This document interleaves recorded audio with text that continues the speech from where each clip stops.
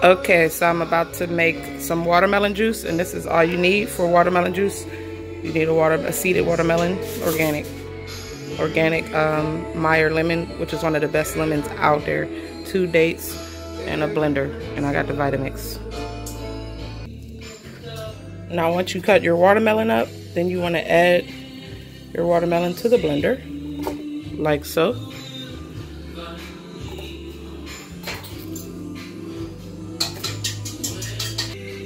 Also, since the watermelon is so rich and high in water content, which is like 90%, you do not need to add water to your blender.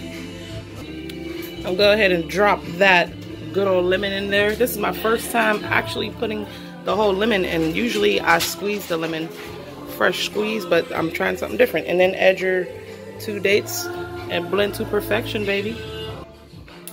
Turn that bad boy on. Give me a second. Let's get this thing a little push. There we go. There we go. Ah. And let it blend, baby. Pour up, drink.